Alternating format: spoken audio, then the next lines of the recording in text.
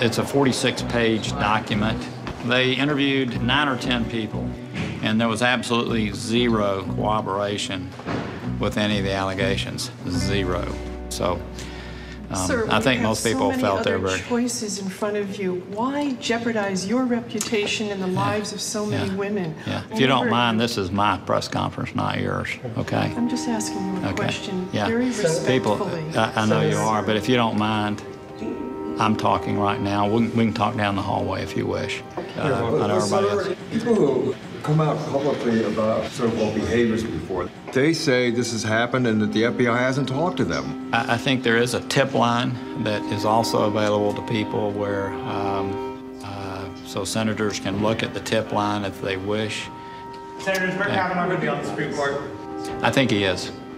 Yeah. Thank you. Thank you. Thank you, sir. Senator, why not choose another candidate? What am I supposed to tell my daughter and my granddaughter? That it's, this is okay? Sir, please. Yeah. This Go is look. really important.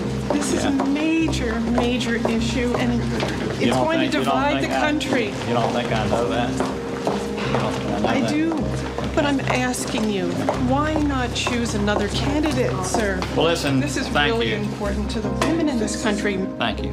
Very nice to meet you, and I appreciate you coming up here.